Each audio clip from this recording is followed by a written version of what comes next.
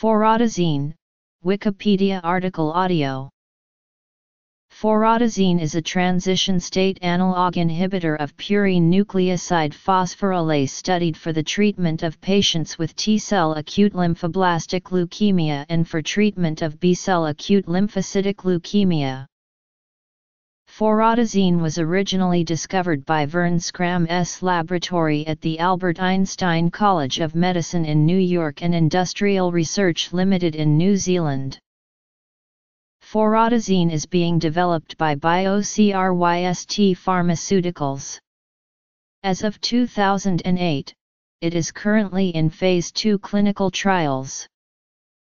In 2006, BioCryst entered into a licensing agreement with Mundipharma International Holdings Limited to develop and commercialize forodesine in markets across Europe, Asia, and Australasia for use in oncology.